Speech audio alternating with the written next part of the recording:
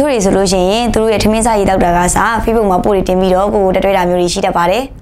အားလုံးပဲမင်္ဂလာပါရှင်ခုပြပြပေးသွားမယ့်အကြောင်းလေးကတော့ကိုယ့်ရဲ့မိတ်ဆွေတငယ်ချင်းဒါမှမဟုတ်တယောက်ကနေပြီးတော့ကိုကို Facebook မှာတက်တွဲလာခဲ့မယ်ဆိုလို့ရှိရင်အလွယ်တကူတက်တွဲလို့မရတဲ့နည်းလမ်းလေးကိုပြပြပေးသွားမှာဖြစ်ပါတယ်ရှင်။ဘာကြောင့်လဲဆိုတော့တစ်ခါလေးမှာဆိုလို့ရှိရင်ဗာမုန်းတဲ့ကိစ္စလေးနဲ့ကိုကိုတက်တွဲလာခဲ့မယ်ဆိုလို့ရှိရင်ဆိတ်ချုပ်ရတဲ့ခါမျိုးတွေရှိတတ်ပါတယ်။အဲဒါကြောင့်ညီမကနေပြီးတော့ Facebook မှာအလွယ်တကူတက်တွဲလို့မရတဲ့နည်းလမ်းလေးကိုပြပြပေးသွားမှာဖြစ်ပါတယ်။အဲဆိုလို့ရှိရင်ညီမနဲ့တူဗီဒီယိုလေးကိုကြည့်လိုက်ကြအောင်နော်။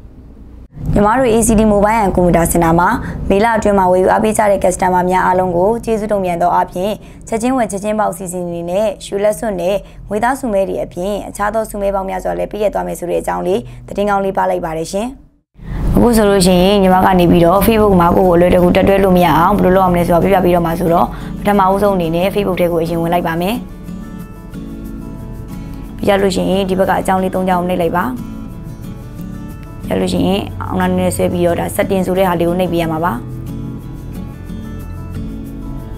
ရလို့ရှိရင်အောင်နာနည်းနည်းဆွဲလိုက်ပါမယ်ဒီမှာဆိုလို့ရှိရင် profile and tagging ဆိုတဲ့ဟာလေးတွေ့ပါလိမ့်မယ်အဲ့ဒါလေးကိုနှိပ်ရမှာပါ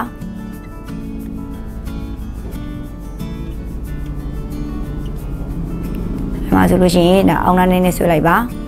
ဒီမှာဆိုလို့ရှိရင်ဒါ review နှစ်ခုလုံးကိုညီမအနေပြီးဒါပိတ်ထားပါဗောနော်အဲ့လိုမျိုးနှစ်ခုလုံးကိုညီမအနေပြီး on ပေးမှာပါ on လိုက်ပါမယ်ဒီလိုမျိုးလုပ်ထားမယ်ဆိုလို့ရှိရင်တယောက်ကနေပြီးကိုယ့်ကိုတက်တွဲလာခဲ့မယ်ဆိုလို့ရှိရင်အဲအလွယ်တကူတက်တွဲလို့မရပါဘူးသူကိုယ့်ကိုတက်တွဲလိုက်တဲ့ပို့ကိုကိုကလက်ခံမလားဒါမှမဟုတ်လို့ရှိရင် hype လိုက်မလားဆိုတာကိုလုပ်လို့ရပါသေးတယ်အဲ့ဒါဘယ်လိုကြည့်ရမလဲဆိုတာကိုညီမတစ်ခါပြပြီးတော့ပါမယ်ဒါဆိုလို့ရှိရင်ကိုယ့်ရဲ့ကိုယ်ပိုင် wall တွေကိုရင်ဝင်လိုက်ပါကြလို့ရှိရင်ဒီဘက်ကနေပြီးတော့ပေါ့လေဒီအကြောင်းလေး၃ကြောင်းကိုနှိပ်ပေးရမှာပါဒီ set ကလေး30ကိုနှိပ်ပေးရမှာပါ review ပို့ရန်တက်ဆိုတဲ့ဟာလေးရှိပါတယ်အဲ့ဒါလေးကိုတစ်ချက်နှိပ်ရမှာပါ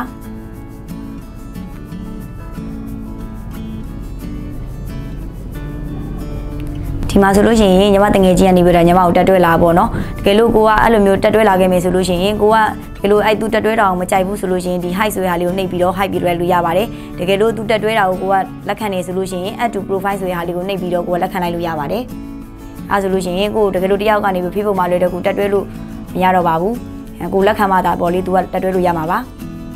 ခုဆိုလို့ရှိရင်ညီမကဒီဗီဒီယိုလေးထဲမှာ Facebook မှာကိုကိုအလွယ်တကူတက်တွဲလို့မရအောင်ဘယ်လိုလုပ်ရမလဲဆိုတာနဲ့ပတ်သက်ပြီးပြပြပြီးပြီဆိုတော့မိတ်ဆွေတို့အနေနဲ့လိုက်လို့ကြည့်လို့အဆင်ပြေလိမ့်မယ်လို့မျှော်လင့်မိပါရှင်နောက်ထပ်လည်း knowledge နဲ့ပတ်သက်တဲ့ဗီဒီယိုလေးတွေအများကြီးကြံသိရမို့ဆက်လက်ဆောင်မရှိရှိဖို့ညီမကဖိတ်ခေါ်အပ်ပါတယ်ဒီနေ့အတွက်ဗီဒီယိုလေးကတော့ဒီလောက်ပါပဲဒီဗီဒီယိုလေးကိုဆုံးဖြတ်ကြည့်ရှုပေးတဲ့အတွက်ကျေးဇူးအများကြီးတင်မိပါတယ်ရှင်